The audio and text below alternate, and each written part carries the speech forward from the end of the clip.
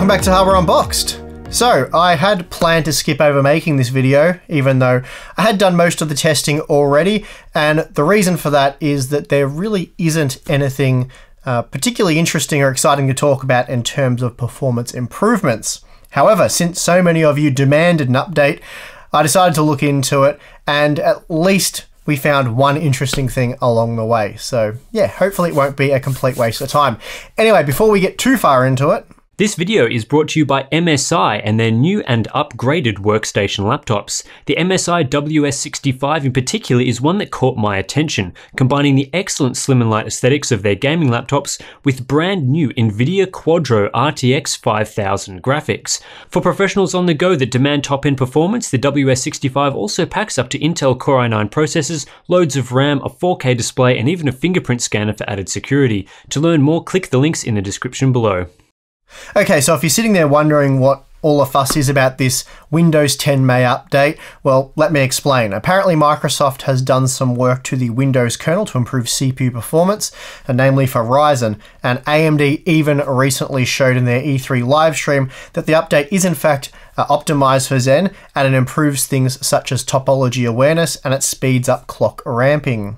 The improved topology awareness means that Windows will focus on using cores within a CCX before using another CCX. So basically, they're teaming cores in the same CCX before spreading the workload to another CCX, as doing so comes with a latency penalty. And then the faster clock ramping means that Ryzen can get up to speed faster. With previous builds of Windows, AMD said it could take around 30 milliseconds for the CPU to ramp up to higher frequencies. So the update, along with an upcoming chipset driver, will take this to just 1 to 2 milliseconds for the chip to reach its top speed. AMD's also showed a slide claiming these fixes can boost gaming performance by up to 15%, while the faster clock ramping can yield a 6% improvement. And I think this is partly why Ryzen owners are so hyped about this update. However, as I understand it, these improvements aren't yet in effect, and they won't be till the Zen 2 processors arrive and we get the new chipset driver. Despite that, though, there are claims all over the place from Ryzen owners of improved performance, but as far as I can tell, the gains shown have been limited to 3D Mark, and that's a synthetic benchmark application that we tend to avoid here at Hardware Unboxed. It seems Ryzen owners are seeing improvements in 3D Mark scores, and then just assuming those gains will transfer over to, well, real world games. So, yeah, we'll look at that in a moment. But spoiler alert, if I hadn't already given it away with the uh, initial introduction to this video, the reason I was going to skip it was because all my results were within the margin of error, and I wasn't even confident if any of these Zen optimizations that AMD are talking about are actually active yet. And after speaking with the all knowing Wendell of Level 1 Techs, if you haven't subscribed to Level 1 Techs, then I suggest you do it. I'll stick a link in the very description. But yeah, after speaking to Wendell, my suspicions were confirmed. At this point, it sounds like the Zen scheduler still isn't enabled in the 1903 build, and again, for this you will need the AMD chipset driver. The improved clock ramping is also going to be enabled by the upcoming chipset driver, and possibly even a firmware update will be needed there. Not 100% sure on that one. Wendell also told me that he's heard the Zen 3 architecture will have a hardware fix to address this issue, taking the current changes in clock frequency from the current 30 plus milliseconds down to just 1 to 2 milliseconds. Anyway, as I said earlier, I wasn't going to make this video because there really isn't anything to report, at least in terms of performance, but due to the large volume of requests for an updated 1903 benchmark, I've decided to go ahead with the video. Actually, it wasn't just the sheer volume of requests, but rather all the misinformation I was seeing. Quite a few of you were telling me you've been told of big performance improvements with the new update on Ryzen. And since that isn't really the case, at least not yet anyway, I thought a video was probably necessary after all. So I took the Ryzen 7 2700X and Ryzen 5 2600X, tested them on Windows using the 1809 build, then I updated and tested with the 1903 build, and of course reran all the tests again. For the graphics card, I'm using the Gigabyte RTX 2080 Ti Aorus Extreme, and for the memory, a 16GB kit of G.Skill's FlareX DDR4 3200 CL14. So let's take a look at the results. Starting with Cinebench R20, we see similar scores for both processors using either version of Windows, 1809 or 1903. Honestly, I wasn't really expecting any changes to have any impact on this particular workload, but I know you guys will want some Cinebench scores anyway. Here we can also see that the single core performance was also the same. So again, no surprises here. Moving to WinRAR, and we do see a 2% performance improvement for the 2700X, and this is of course based on a 3 run average. It's hard to say if the new Windows build is responsible for such a small gain.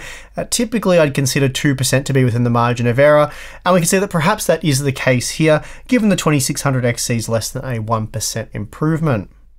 The last application I bothered to look at was Premiere. Again, nothing to report here, uh, less than a 1% difference for both CPUs.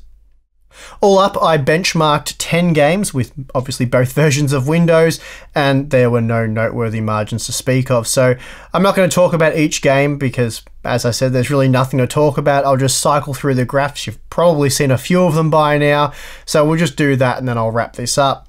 At most, we saw a 2% difference in performance, and on occasion, the older 1809 build was faster. But again, we're talking about the margin of error here, or results that are within the margin of error. So yeah, honestly, there's no noticeable performance difference in any of the games tested. I had also seen some people claiming that the 1903 build improved performance of the first gen processors, so the original Zen processors, and I think that's because the slides that AMD showed uh, said Zen optimizations and not Zen Plus or Zen 2, but they just mean Zen in general, the Zen architecture, which encompasses all versions of Zen. So yeah, these updates aren't targeting or aren't providing bigger improvements for those with first gen Ryzen processors. But since I had the results for the Ryzen 5 1600, I thought I would take a look at the Ryzen 5 1600 on the 1903 build. And again, absolutely no difference in performance. I'm not going to show you guys those graphs because they're just more graphs that don't tell you anything particularly useful, but I can assure you that the first gen and second gen Ryzen processors all look the same. I will just say though, it's possible these Windows optimizations are currently offering noticeable gains for the higher core count Threadripper CPUs. Can't comment on that yet because I haven't tested them. Uh, I believe Wendell will be doing some testing with the 2990WX soon. Uh, but yeah, for now, not sure on that one. I've pretty much just focused on the AM4 CPUs. I also tested Arma 3 at the request of a few Patreon members. The hope here was that the update would help our performance in older titles where Ryzen struggles a bit, but yeah, sadly that wasn't the case, at least not yet anyway. Now, remember that slide from AMD that I showed earlier in the video that showed the Ryzen 7 3800X to be 15% faster with the May 2019 update when playing Rocket League? Well, I decided to go back and do the testing all over again, so install an 1809 build, then update it, and do that for both the 2600X and 2700X. And well, that allowed me to test Rocket League, which I hadn't done previously. So I did this at 1080p using the high quality settings, again with an RTX 2080 Ti, and I also removed the 250 FPS frame cap. Sadly, though, no 15% gain for the 2700X or the 2600X. Again, we'll probably need the new chipset driver for those kinds of gains.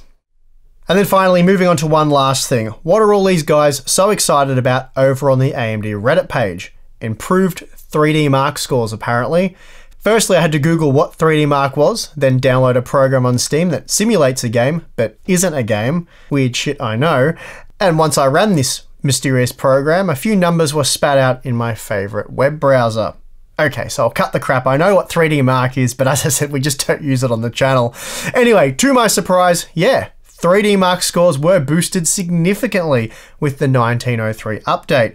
And here I was thinking all the bots on Reddit spent too much time looking at porn on their PCs and they were infested with malware. Apologies to the r slash AMD community. Some of our Patreon members also saw the same thing, uh, big gains for the total and physics scores in 3D Mark, but zero improvement for every other game and application they tested, at least nothing that was out of the margin of error. So if you're asking yourself, well, what gives here? I don't have any real answer for you. I guess either 3D Mark was broken on Ryzen previously, or more likely, there's a bug with 3D Mark when using the new version of Windows. Either way, doesn't really matter too much as the performance uplift seen here when running 3D Mark has no bearing on real world gameplay. So yeah, that is a bit of a shame. Overall, it seems there's really nothing to see here. So yeah, sorry if you feel I've wasted your time on this one, just showing you graphs with margin of error differences. Like I said, I was going to completely skip this video as the testing was uninteresting. I'd done it anyway, but yeah, what didn't really make for an exciting video. But yeah, with so many people now hitting me up on Twitter and comment section on YouTube and pretty much everywhere over the last few days freaking out about these alleged improvements, I thought it probably made sense to make the video anyway. Hopefully we will see some improvements in the not too distant future once we get the new chipset driver. Not 100% clear on how that will be rolled out. Uh, there are suggestions that it's being rolled out by the Windows update. Some people may have it already, but I haven't seen anyone showing any gains in, well, any applications or games outside of 3D Mark. And then a few people have shown Cinebench R15 scores to have changed, but again, they're really within the margin of error. So yeah, if, if there are any changes or anything uh, different to what we found here, then yeah, I'll certainly update this information in a future video. But as far as we can tell at this point, you shouldn't be seeing any major performance improvements with the 1903 update with a Ryzen processor. So for now, it just seems to be a bit of a hype train. So these Windows updates are often followed by uh, runaway hype trains. Back in late 2017, we did derail the Fall Creators update that was said to improve performance by an insane 20%. In reality, it was more like 0%, somewhere around there. It was only a couple of percent at best. So consider this hype train derailed once again. Also, please note that these Windows and driver optimizations aren't meant to improve things that much. It'll certainly help a bit, but you won't see the massive performance gains that are being reported by, well, programs such as 3D Mark, for example. It's not uncommon that when these new Windows updates are rolled out that people see performance improvements, and for the most part people who are seeing these performance improvements are seeing them because there was actually something wrong with their previous install of Windows and the update corrects that.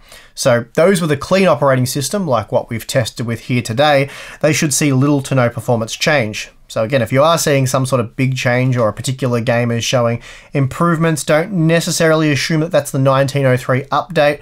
It could just be that there was something wrong previously. Of course, this time creating a bit of extra excitement and confusion was 3D Mark, but I've explained what I think's going on there, and again, those results don't transfer over to any other real-world applications or games. So yeah, just a synthetic benchmark doing synthetic benchmark things.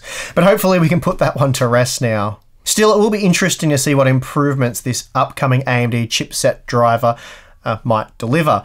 But yeah, I wouldn't be expecting any miracles. We're not expecting to see any huge changes here. Just a nice little performance bump where perhaps Ryzen needed it most. But again, we'll just have to wait and see what really happens when we get that driver.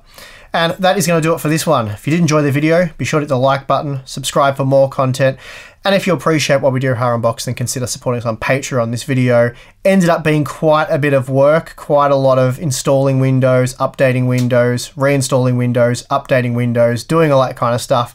I didn't just roll back to go back and forth on the testing because that can cause other problems. So yeah, a lot of hours were wasted installing and updating Windows, and then not to mention all the applications required for testing. So if you appreciate that, you can jump over to our Patreon account, and that also gives you access to our Discord chat. We can chat to you guys while we're doing this kind of testing, see what you're seeing, and sort of work with you on that one. And actually, our Patreon members were very helpful on this one because they were also seeing the big 3D Mark performance uplift, as I, as I said, but they weren't seeing gains anywhere else. So I suppose also thank you to our Patreon members who helped me on this one. As always, we very much appreciate you guys. Anyway, thank you to everyone who watched this video. I'm your host, Steve, and I'll see you again next time.